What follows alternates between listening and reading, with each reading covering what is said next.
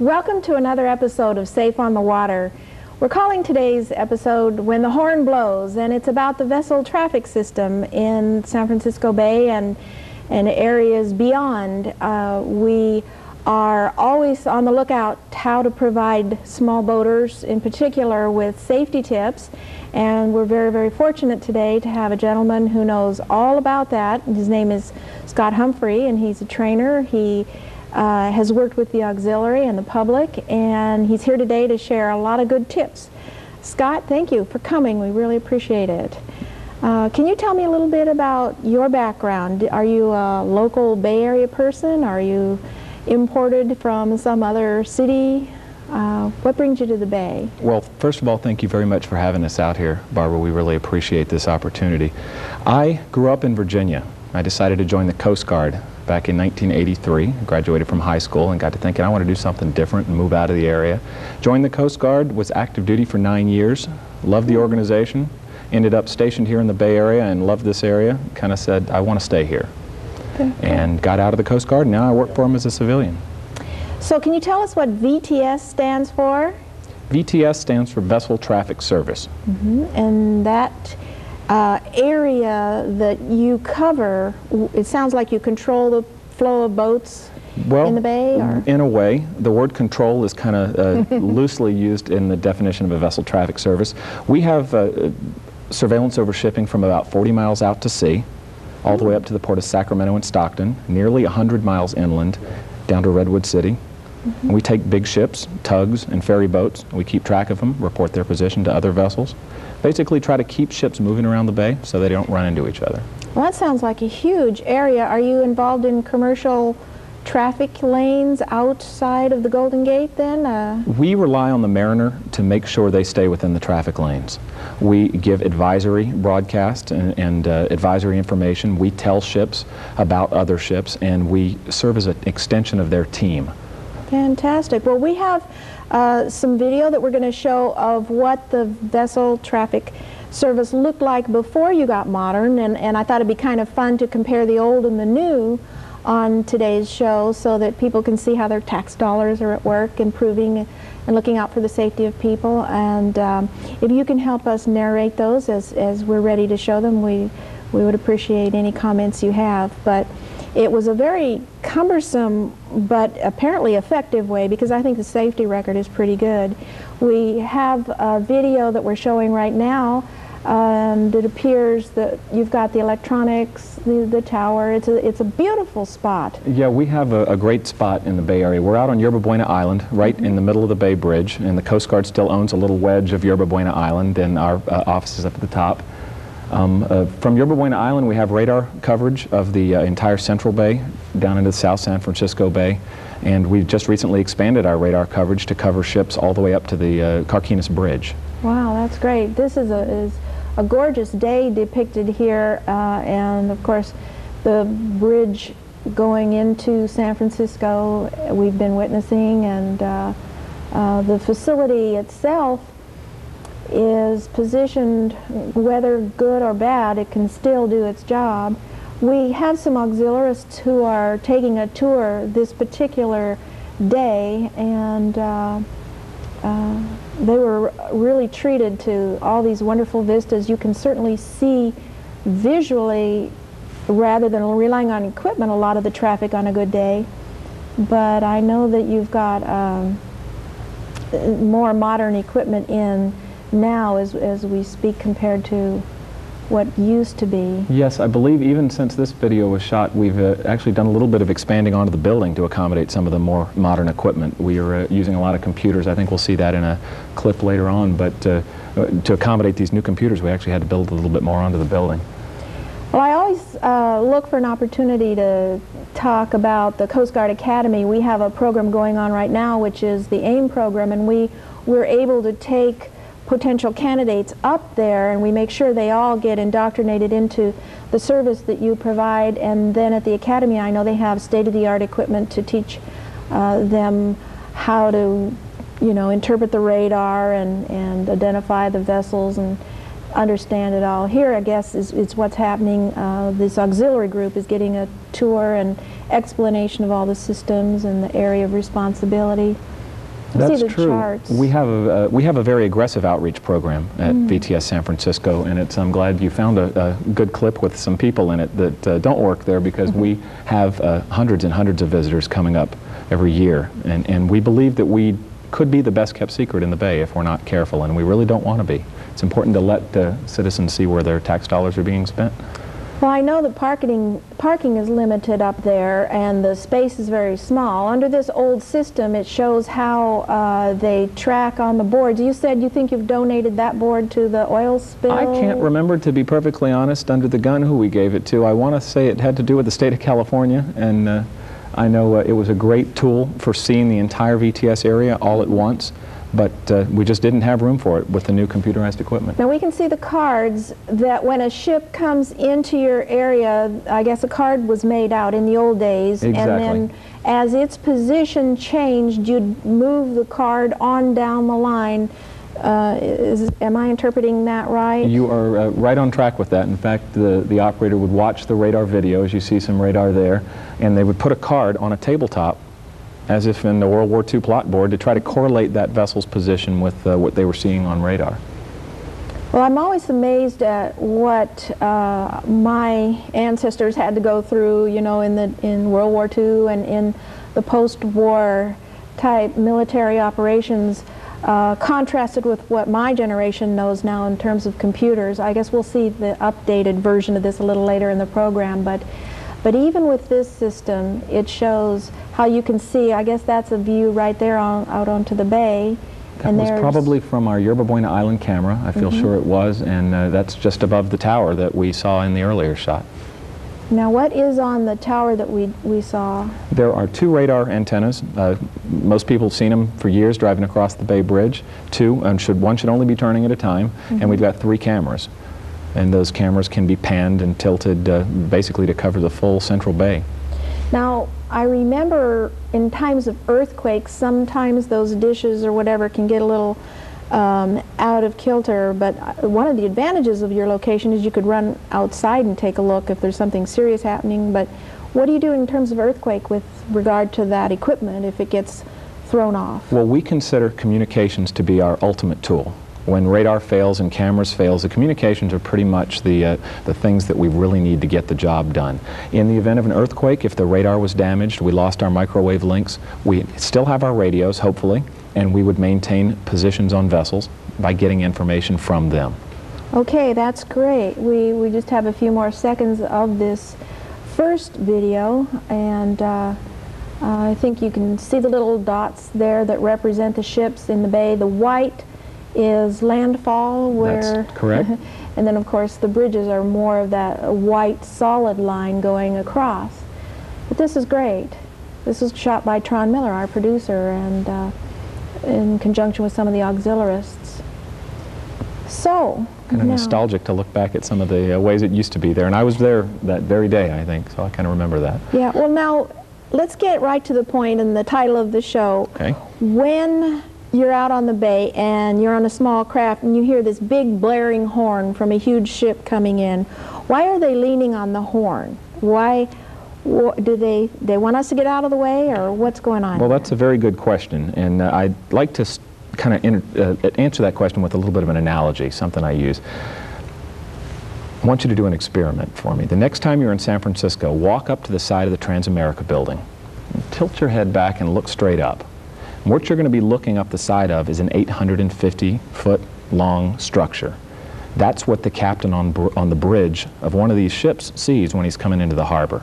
If you take one of these Maersk container ships, I'll use them as an example because I happen to know their length is about 980 some odd feet. If you took one of those ships and you stood it up in downtown San Francisco, it would tower over all the skyscrapers in the city. Well, that's pretty impressive. I've been up on the top of uh, one of those skyscrapers right in the middle of downtown, and uh, it's scary just to look down. So that's a good, good example. What kind of vessels have to report into VTS? The type of vessels that have to report fall into three categories, and they're required by federal regulations. Power-driven vessels, 40 meters in length or more. It's about 126 feet. Towing vessels, 8 meters in length or more. And passenger vessels certificated to carry 50 or more passengers. Even if they're just carrying one. So basically all the ferry boats on the bay. These vessels have to report to us before they move in the bay. Well, does that include recreational boaters and fishermen? No, it doesn't, uh, but recreational boaters and fishermen can benefit greatly from our service. I tell most recreational boaters to treat us like they would treat uh, the KCBS or their, uh, their weather uh, traffic station that they listen to on the radio. About 30 minutes before they get underway, before they leave the dock, turn on VTS on channel 14 if they're inshore or channel 12 if they're offshore and just listen. They'll know where all the ships are by the time they leave the dock. Well, we're going to be putting some more video up for our audience to see, and, and uh, if you could help me okay. narrate over this one, uh, we've got it just about ready to roll here, so uh, it'll be an added attraction for the audience to see some more of the actual system. Okay, what we're seeing now is our old operations center, and uh, this was uh, video was shot to show how much movement, how much uh, actual the person moving around, filling out cards was necessary in the old system. You'll notice that board that uh, keeps coming up on the right, the uh, yellow colored board. That's how we tracked vessels upriver. Um, this operator had, was so busy this day that she had to push her chair back out of the way and just walk around the, the board. You were describing earlier how we laid the cards out on the tabletop. You can see the cards laying on the tabletop, the radars in front of the cards, Part of her job is to correlate the position of those cards with the, the video on the radar. She actually was uh, staffing three radar scopes. The old system required a separate radar scope for each radar antenna. Is this a high-stress job? Uh, it seems like there's an awful lot of traffic in the bay. It has periods of high stress and it has periods of, of rest. And uh, when, it's, when it's stressful, it's very stressful. There's a lot going on. And it really requires an operator to maintain their cool, and, uh, and just take care of business. Well, when approached by a larger vessel, does a smaller vessel call Channel 16 and, and say, hey, I'm, I'm here? Or, or well, I'm glad you asked that because, in fact, no. Uh, that's something that's probably one of the most misconceived uh, notions in the, in the pleasure boat community. As of 1994, the big ships, the tugs, and the ferry boats are no longer required to be on Channel 16. If they're participating with our VTS, they have to be on channel 14 and channel 13. If you think you're in uh, arm's way from a big ship, go for channel 13, pick up the radio and attempt to establish communications with them. If you try on channel 16, it's quite likely that uh, they won't be there. Well, we're talking channels here, like this is a, a, marine transceiver, and on your marine radio, it's that channel that we're really talking to people dial to. It's important for them to know when they get out there on the water how to use these radios. And so um, we're going to show in a little bit here what the center looks like okay. uh, in more modern times. Great. And so we have uh, Actually, we're looking at a computer display now. The old radars that you saw the, uh, with the turning antennas have been replaced by computerized displays. You can see little icons representing the tracks. Each of the consoles there, uh, has 20, uh, two 21-inch computer displays in front of it.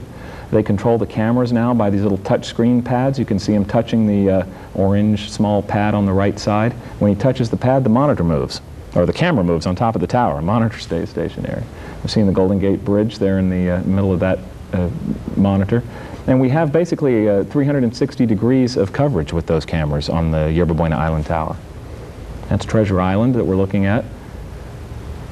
Boy, I know everybody was so happy when they converted to the computer system, and the anticipation of it was real, real high. It was something. Let me tell you, it, there, there's an added stress involved in that in some ways uh, because you, you're dealing with computers, and there's a computerized form. Those paper cards were replaced by these electronic forms. This typist is pretty fast. It takes some good typing skills to get that information in there as fast as it's being reported. Well, uh, then do you store these in, in files, keep it on hand for 30 days, you know, all the movement? and? Yes, we do. Uh, we keep uh, everything on file, uh, on record, and uh, I'm not sure the exact duration. I believe it's a lot longer than 30 days, actually. And uh, we're able to retrieve most of this information. Well, did you store the cards from the old days? Yes, we did. Oh. I believe we stored those cards for several years, and we had huge filing cabinets filled with those paper cards, and I believe we still do amazing the difference that uh, storing a little floppy disk can be compared to roomfuls of, of paper. I, I look forward to the paperless office, and it's, it's good to know the Coast Guard's right up there with the modern uh, age and keeping us informed, you know, electronically. We're certainly working on it. Okay, take for an example, I know that we had a guest on, Captain Henderson, who's the um, commanding officer, Marine Safety Office, which you're affiliated with. Uh, and we will be showing addresses and emails uh, during the program and, and boating safety hotlines that people can call. But one of his examples that you might help me expand on is uh, when a when a big ship confronts a small ship, we we want to know: Do sailboats have the right of way over a big ship if they're under sail in that kind of a circumstance? Not always. Uh, Rule 9 comes into play, and Rule 9 says that if you're a sailing vessel or a power-driven vessel that's less than 20 meters long or a fishing vessel, and you're in a narrow channel or fairway, you have to get out of the way if a big ship or tug and barge is coming along, if that big ship or barge can't get out of that channel. The captain of the port has declared virtually every uh, navigable ship channel in the Bay Area as a narrow channel or fairway. So, uh, in a nutshell, uh, that's uh, not a good rule of thumb. Maybe on the open ocean or in a giant open body of water, but uh, generally vessels should keep out of the way of big ships, small vessels.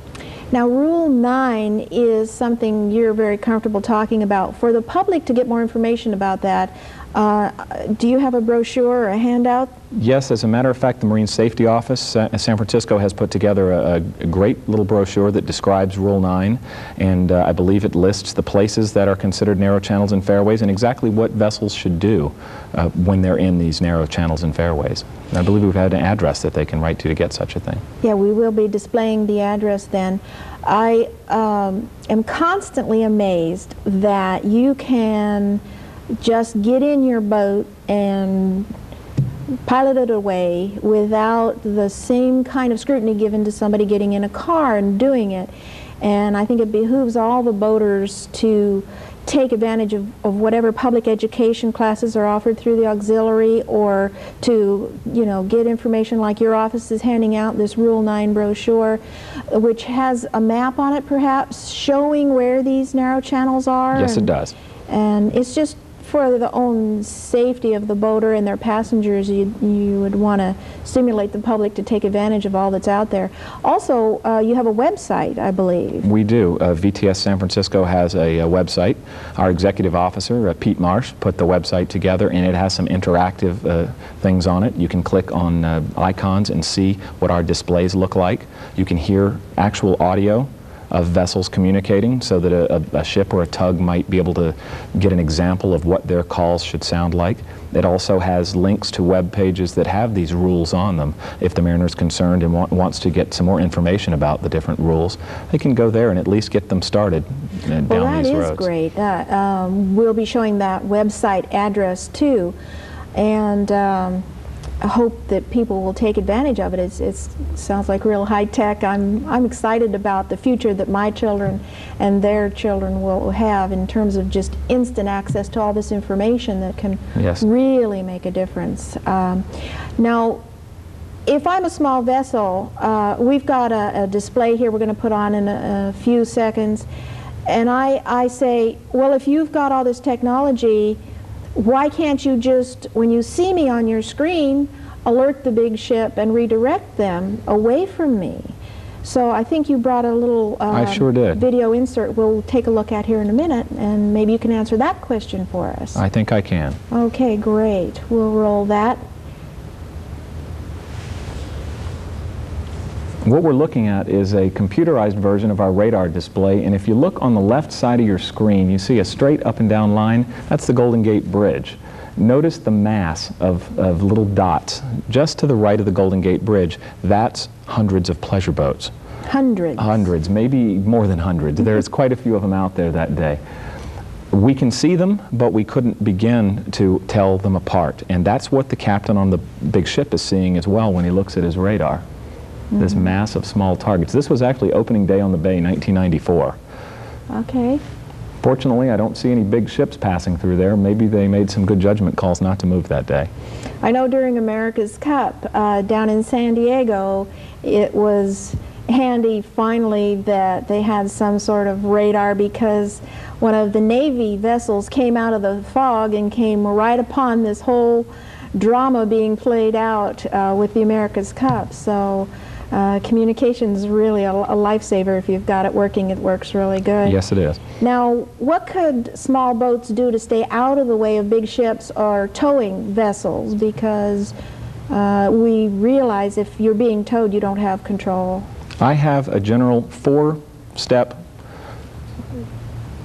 process that if they perform this, they'll pretty much be safe, I feel sure. First and foremost, keep out of the way if at all possible. Think about the fact that that captain is looking down the side of that skyscraper and you look like a little bird in the water in front of him. It's very difficult to see you.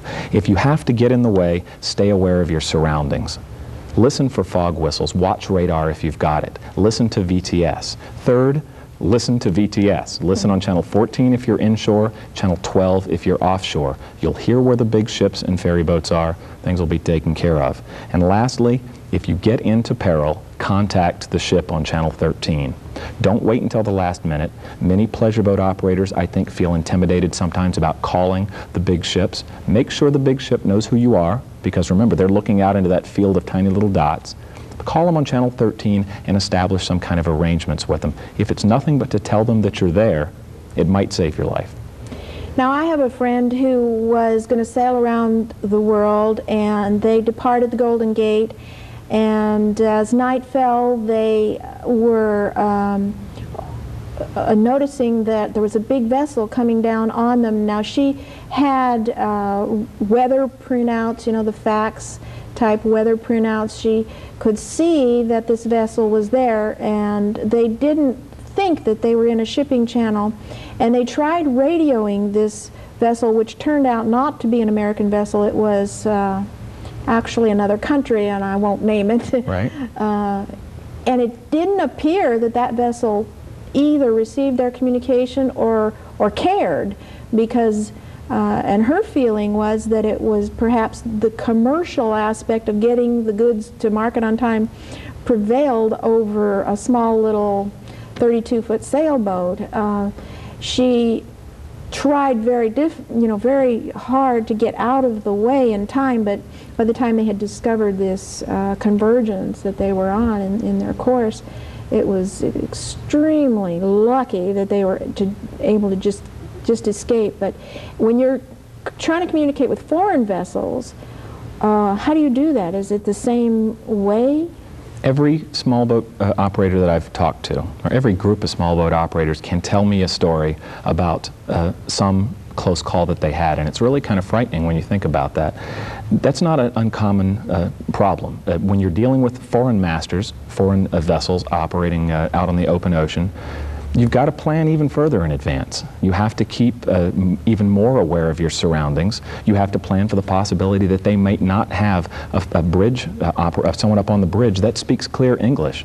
You might have to start making these plans early. Yeah, I was uh, going to ask you about the language problem because, you know, it, we have international codes for distress. Is that is that right? I mean, that is true. I mean, it doesn't matter if you speak French or Italian. If you say Mayday, Mayday, or whatever, they're going to understand this is a problem. Yes, Mayday is a, a is a term that should be reserved for absolute emergency. That's like calling 911. When you're trying to contact a vessel, establish that early communications, and things shouldn't get to the point where you have to get to Mayday. If you're hit, if your vessel is uh, taking on water or you're in serious danger, that's when it's time to call Mayday, and that should be done on Channel 16. But that term should be reserved for uh, real peril only. Now, she felt she was in peril with the convergence course and her inability to get out of the way as quickly as she uh, hoped. Uh, is that a uh, an emergency in in reality? Would that be viewed as an emergency? I think that would be a judgment call on the part of the person uh, on the vessel. Uh, we have some uh, tape recordings at VTS San Francisco that uh, show a vessel calling Mayday just before what turned out to be a, a major collision. So if you really believed that you were doomed at that point, I would say that that might be a good time to call Mayday. That might be the last thing you get out over the radio. And uh, getting that out would cause people to become, you know, instantly aware of your situation. Now, how does um, a civilian wind up in charge of a facility like this? Well, it, a civilian isn't in charge of the whole facility. We have a military commanding officer and a military executive officer. I am uh, the training coordinator. I'm in charge of the training. I think my position uh, came down uh, partly as a result of uh, OPA 90, which is a resulted from the Exxon Valdez grounding. They decided that they needed some full-time people to take care of training and education within the VTS. And we reach out to the maritime community as well. We work with the pilots frequently and with the shipping companies and ferry boat companies. Well, I've I heard even though Valdez um, was such a tragedy that we seem to have learned from it and, and some good things have emerged even in terms of treatment of the cleanup that takes place. Uh, are you linked to then the, the disaster cleanup people? For instance, if you cannot prevent a collision, uh, you're probably one of the first to know. Do you have a, a direct communication where you can just at least get some emergency help out there right away? Yes, we're likely to be the initial responder, so to speak. The vessel is probably going to call us right after the collision and say, traffic, we've just been involved in a collision. We're going to get the balls rolling. We're going to talk to the Marine Safety Office, talk to the group, and uh, then, of course, they're going to take over the rescue. We're uh, ultimately going to try to keep other vessels clear of the area. Well, this is great. Now, uh, we're going to be displaying the address, you know, for people to come, and um, I'll just briefly make the comment that you have told me that the public is aware that Okay. they can come and, and get tours, but you'd like them to call for an appointment uh, since it is a small facility. Yes. And, um, that's really great. We, we have about 30 seconds to, to wrap up here, but thank you so much for sharing all this information. And I, I know that you're doing a valuable service out there, and we thank our audience for joining us. Uh, please come again. We'll be uh, learning more about the Sea Partners and the Marine Safety Office, and we really appreciate the support that we've been given from uh, Captain Henderson in particular on this topic and others. So we'll just go ahead and roll the credits. And again, many thanks for bringing those wonderful inserts. Well, thank you very much for having me. This is a great opportunity for us as well. The public needs to know, and, and we're pleased to, to be of service. We, we know that they're out there wanting to do the right thing, and if we can help, that's, that's what we're here for. Certainly, anything we can do to, to help keep the public safe.